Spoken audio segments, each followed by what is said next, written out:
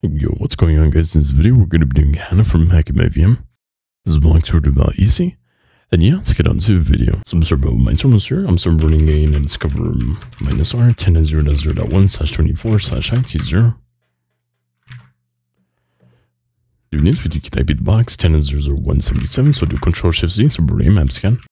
So do mmissc for default scripts, My minus information will scan on ports and IP. Doing this, I'll do minus verbose.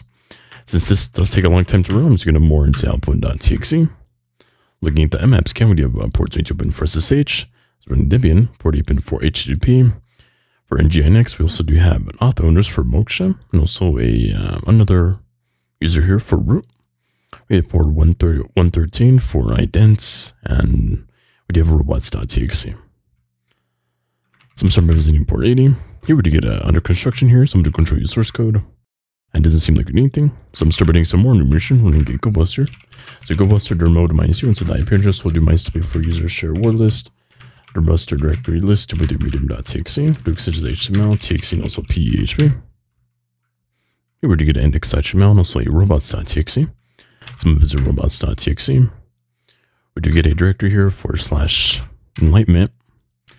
And it does seem like we do get a 44 not found. Looking back at that map scan, we did have two users here for Moksha and also for root. Since we do have a user as Moksha, I'm just going to run Hydra against that as cyber brute forcing. So do Hydra minus L, we'll do the user for Moksha, we'll do minus P for user share wordless rockq.txt, we'll do SSH 10.0.0.177 port 22 minus I, so restore session. Doing this, we can wait and see what we get. So after a while, we do get a login for Moksha and also a password for HANA. So I'm just going to SSH into Moksha at 10.0.0.177. We just have the password as Hannah. We do ID.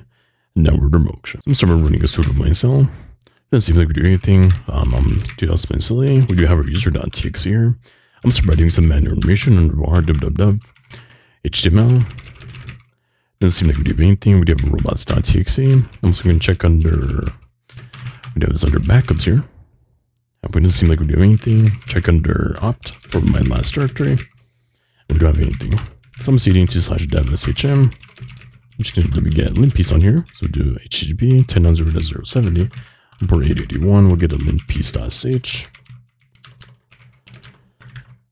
So do control control shift Z. And zoom in. So I'm cding to my documents here. Go to privilege escalation. We do have a lint piece under here. I'm gonna do Python 3 minus m http.server port 881. We do have the lint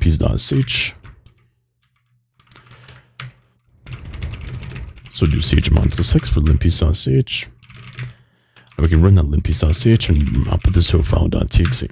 So doing this, we can just wait and see the output for file.txt. So after a while, I'm just going to more into file.txt.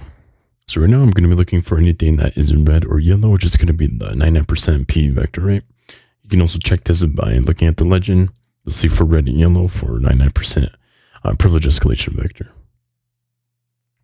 So it doesn't seem like we do anything so far. Under here, we do have a uh, cron job running as root. We do see that we do have touch, but if you notice about touch, we don't have a full path, right?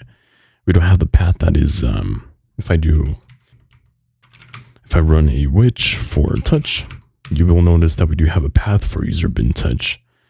And also do you have another directory. So I'm just going to cd into the file system or do ls myself into the file system. You'll see that this is green. So we do have read and write and execute privileges on slash media. Let's look at this. We do have this uh, touch going to slash temp alignment. Anytime there is not a um, full path for touch, it will go straight directly to this path on top. If you do cat out slash easy cron tab, you will see that we do have the path for user local sbin.